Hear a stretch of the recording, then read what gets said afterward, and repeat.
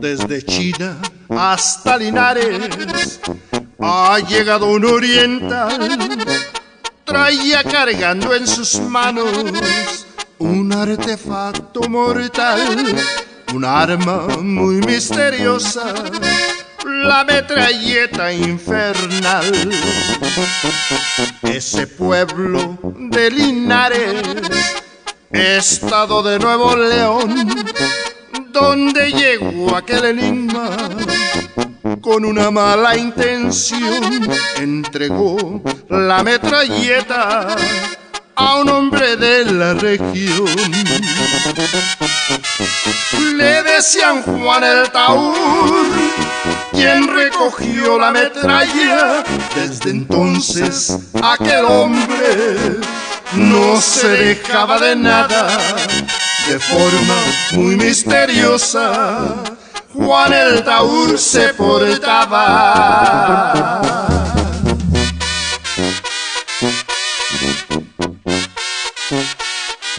Juan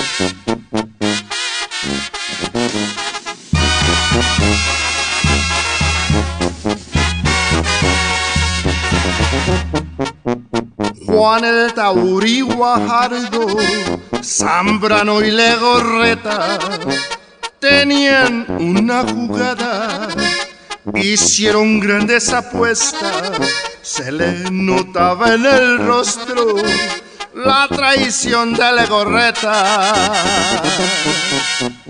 Adivinó la intención, Juan disparó la metralla acribillando a tres hombres por esa mala jugada. Después peleó con su hermano por el amor de su amada. Juan lo llamaba bastardo, su hermano carnal. Ramón le arrebató el arma y así le dio muerte a Juan Después se desaparece la metralleta infernal.